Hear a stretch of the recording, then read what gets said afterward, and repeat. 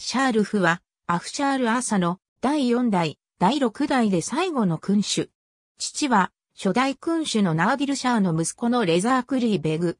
生母は、サファビ朝の第9代君主であるスルターン・フサインの娘である。祖父が1747年に暗殺されると、義理の甥であるアーディル・シャーによって、レザー・クリーをはじめナーシル・エッラー・ミールザーやイマーム・クリーら直系男子の大半は処刑されたが、彼は若年でサファビー朝の巫女を聖母とする理由から除名された。だが1748年にアーディル・シャーとその後を継いだイブラーヒームが相次いで廃されたため、サファビー朝の血統である彼が有力者の支持を受けて即位した。しかし1750年にカージャール族の有力者らに背かれて廃された。この時に盲目にされている。だが、すぐに祖父の求心らの支持を受けて復位した。その後、シャールフは有力者の区靴として利用された。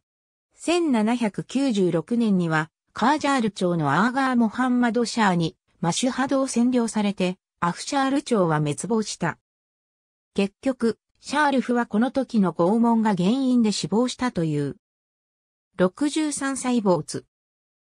ナーディル・ミールザー、アッバース・ミールザー・ナッシル・ッラー・ミールザー・イマーム・クリー、ミールザー。ありがとうございます。